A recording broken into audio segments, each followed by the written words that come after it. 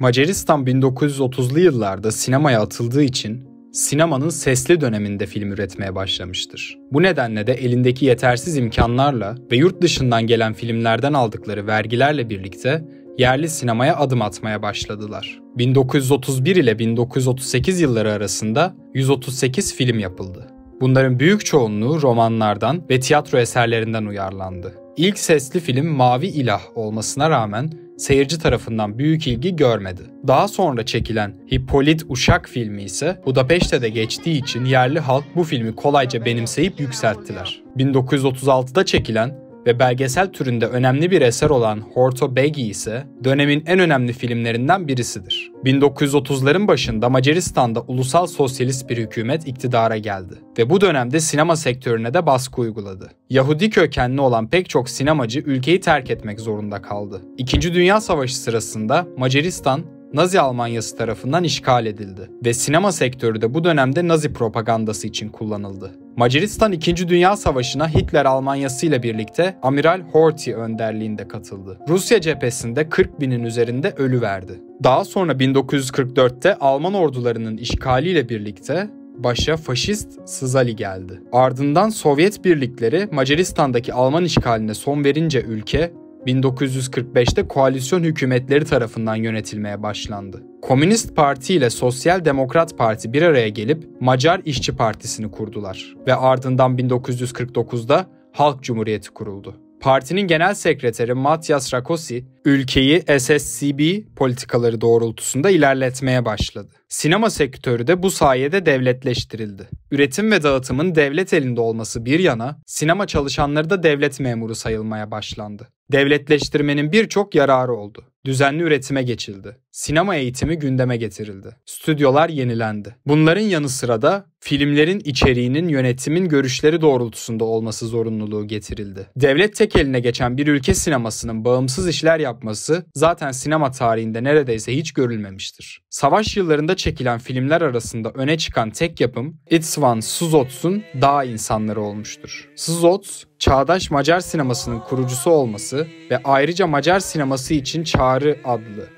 ve sinema için çok önemli bir kitabı ile ünlüdür. Dağ İnsanları filmiyle de Venedik Film Festivali'nde gösterimi yapılmıştır. Yabancı yönetmenler Szotz'un anlatımını Renoir filmleriyle eşdeğer bulmuşlardır. Yönetmenin ikinci filmi Buğday Tarlalarının Türküsü ise 1943'te yazılmasına rağmen savaş karşıtı bir film olduğundan dolayı 2. Dünya Savaşı bittikten 2 yıl sonra gerçekleştirilebilmiştir. Savaşın ardından Macaristan Sovyet etkisi altında kalmaya devam etti ve sinema sektörü de Sovyet etkisinde kaldı. Ancak 1956 yılında Macaristan'da halk ayaklanması yaşandı ve Sovyetler Birliği tarafından bastırıldı. Bu olaylar Macaristan sinemasının da etkilendiği bir dönemdi. Savaş sonrasında Macaristan'da en çok ses getiren yapım, İtalya'dan yeni dönmüş olan Geza Redway'nin Avrupa'da Bir Yer filmi olmuştur.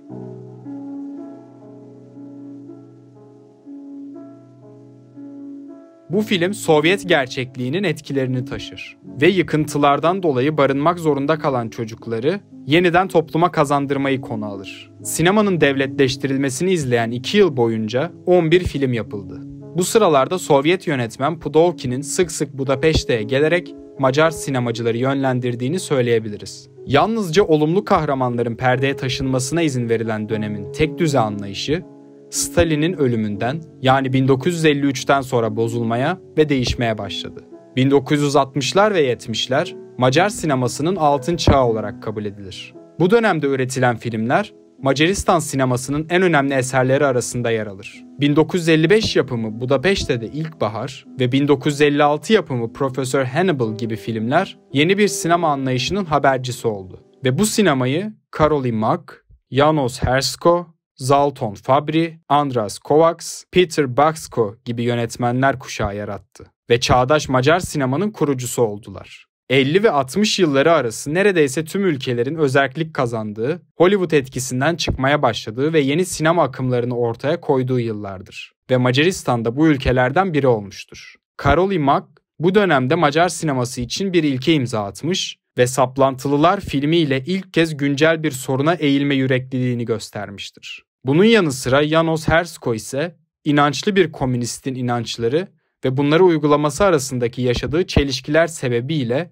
arkadaşları tarafından dışlanmasını ve hayatının alt üst olmasını konu edinen diyalog filmini yapmıştır. Bir diğer önemli yönetmen Zoltan Fabri ise yine aynı dönemde 20 saat filmiyle ülkenin yakın tarihine özgün bir bakış açısı getirir. Filmde dört komünistin farklı çizgilerde mücadele ettikleri siyasal savaşımları, coşkuları ve düş kırıklıkları anlatılır. Tüm bu dönemde çekilen filmlere ve çeken yönetmenlere baktığımızda ortak bir nokta olarak gelişen sosyal bakışın çok ağır bastığını ve tüm filmlerde sosyal problemlere eğinildiğini görmek mümkündür. Tüm bu sosyalist ve komünist bakış açılarından sonra Macaristan 1980'lerin sonundan itibaren demokratikleşme süreciyle birlikte sinema sektöründe de önemli değişiklikler yaşandı. Bu dönemde Macar sinemasında yeni bir dalga başladı ve yönetmenler arasında Bela Tar gerçekten önemli bir isim oldu. Bela Tar Macar sinemasını omuzlarında taşıyan bir yönetmendir. Sinemanın felsefesi üzerine kendine sinemada bir yer edinmiştir. Biçim arayışında olan Bela Tar, Tarkovski etkileri taşıyan mistik bir anlatım tarzına yöneldi ve tam 7 saat uzunluğundaki Şeytan Tangosu filmiyle felsefi göndermeler,